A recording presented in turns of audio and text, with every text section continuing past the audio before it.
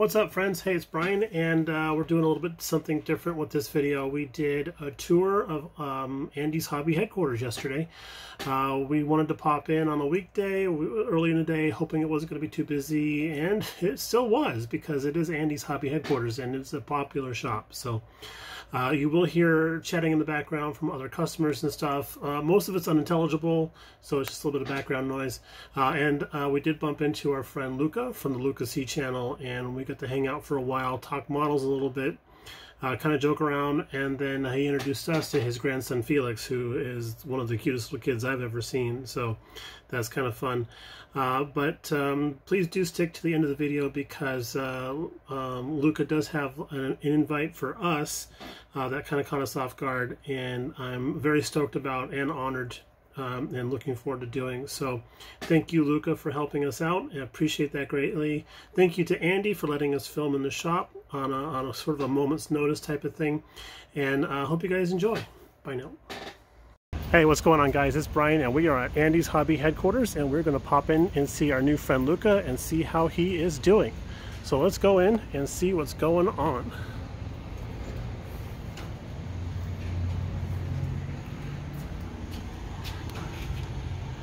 All right, so here we are at Andy's. And there's our new friend Luka and our Hello. friend Andy. How, How you guys doing? Today? How's it going, Brian? Doing pretty good, man. It's nice and warm outside, so it it's. It is. That's why it's much better to be in here. Exactly. 14 today. yes, but it's a nice, pleasant atmosphere in here, and um, it's perfect uh, styrene melting temperature on your dashboard, isn't it? I hope so, yeah. but uh, yeah, we're here checking out the vintage stuff that Andy has on display from that awesome stash that he uh, acquired recently.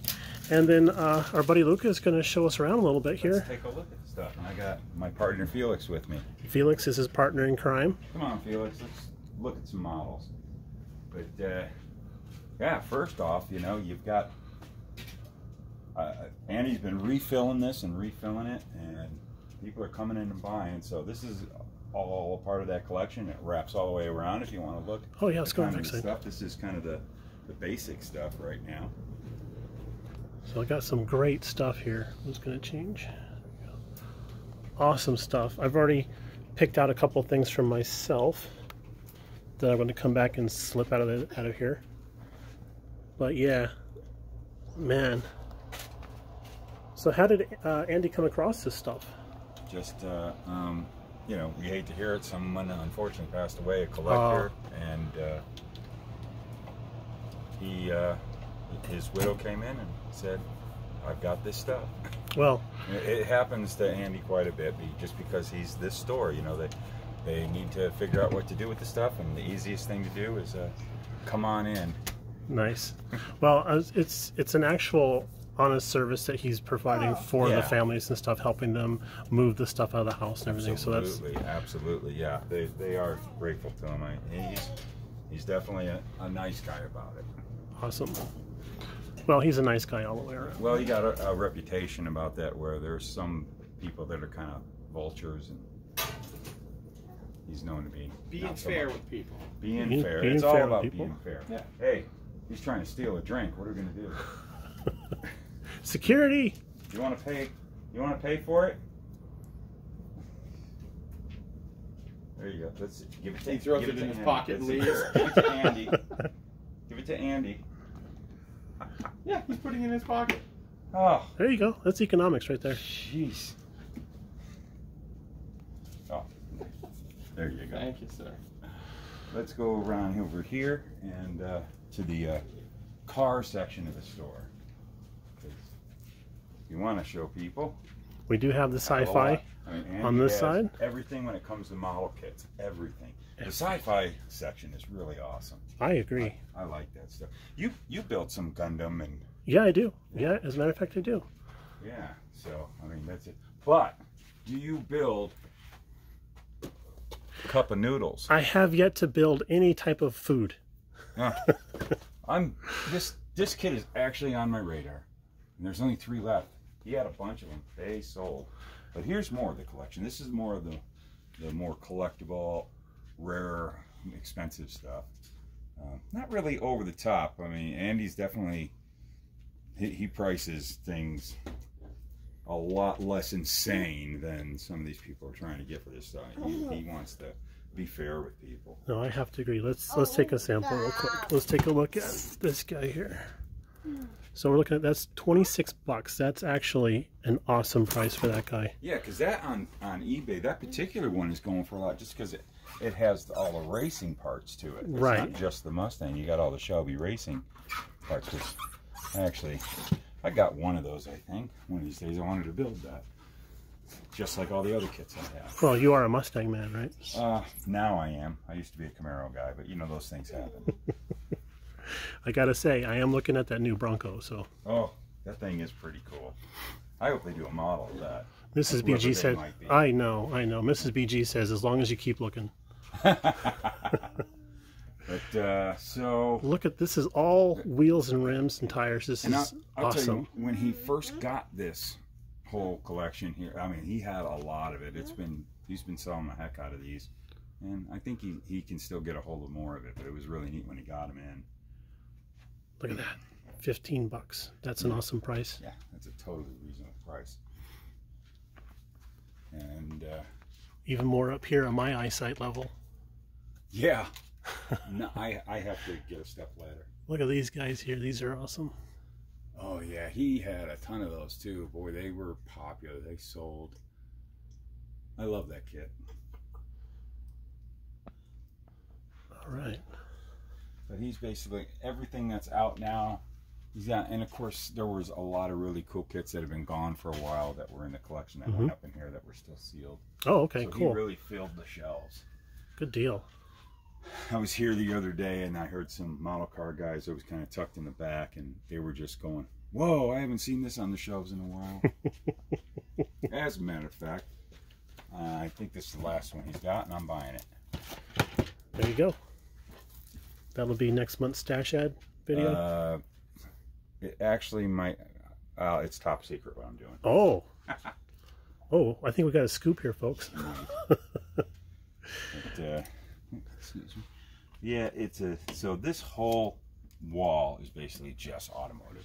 Yeah. Top to bottom, you got the trucks, and then you got the Tamiya. He keeps. You had over there was a lot of the Aoshima. He had a ton of the Aoshima, and a lot of that sold, and probably get some more. But now he doesn't have room.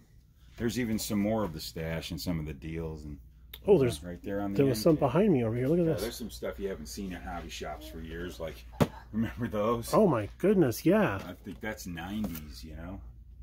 So, Look at these guys here. sometimes it's a, a trip through memory lane coming here.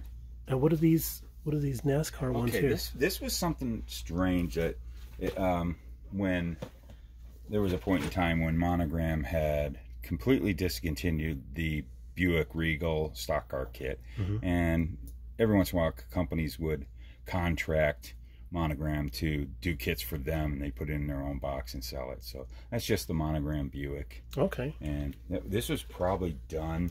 I want to say in the nine mid '90s or something. Nice. What we got down here on the bottom? There's first edition and final edition. I just noticed that. Oh wow, yeah. Um, yeah, definitely. Look at first edition, final edition. So, It's got the whole GMP. got the whole span. If anybody knows any any more about that, put it in the comments. Yes, please do. Please do. GMP models. Yeah. So then we got uh, airplanes and military over this way. Airplanes and military over here. Okay, we'll take a quick scan down Yeah. here. So feel free to pause the video on anything you want to take a closer look at. But we're just gonna do a general sweep here. But it really shows what an incredibly stocked model shop this is. Exactly. Oh, that, that's been the great thing about this store.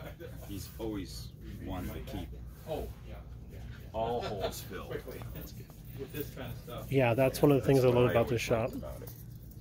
One of the things I love about this shop, he's even got some uh, building manuals here.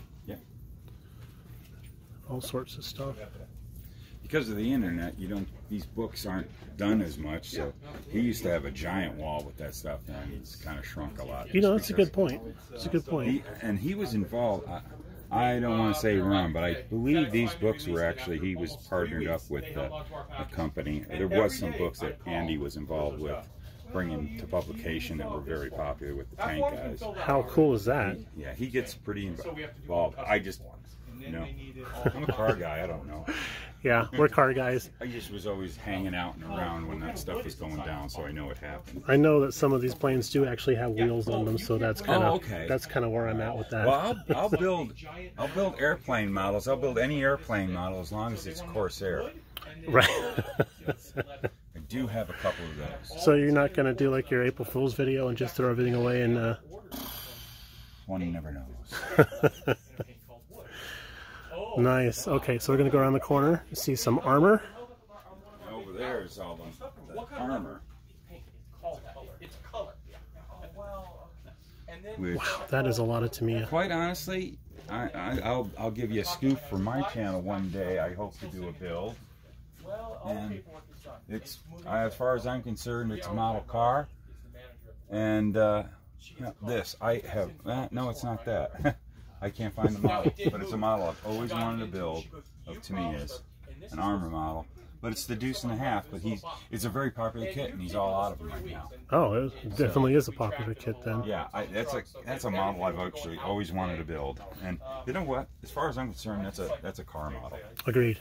Agreed. I really I like. I built this once, and I actually turned it into a uh, a civilian vehicle, Oh, very a cool. German civilian vehicle.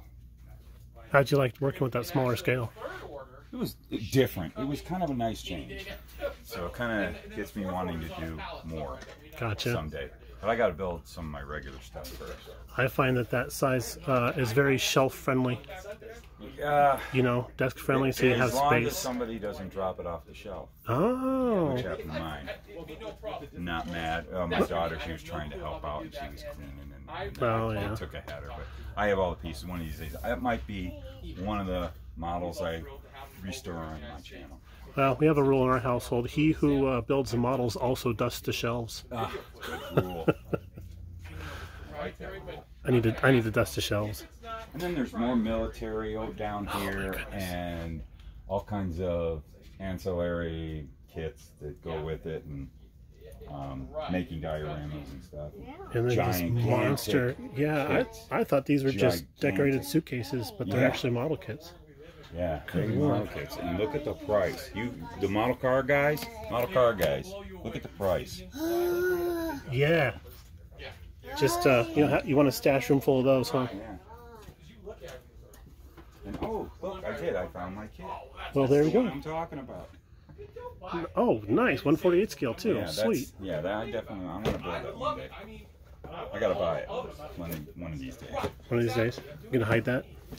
He's got a couple of them, so All right. So I want to say thank you very much to Mr. Luka it for was helping us out, and I'm glad to help out. to Mr. Felix for carrying the uh, the official drink of the show. And Mr. BG, it's been great to get to know you, and uh, you guys be looking out because on my own podcast, that's one of my next guests. I'm all over that, man. Right I'm all over that. Thank you so much, my friend. All right, you take care. We'll talk to you later. Bye now. Bye.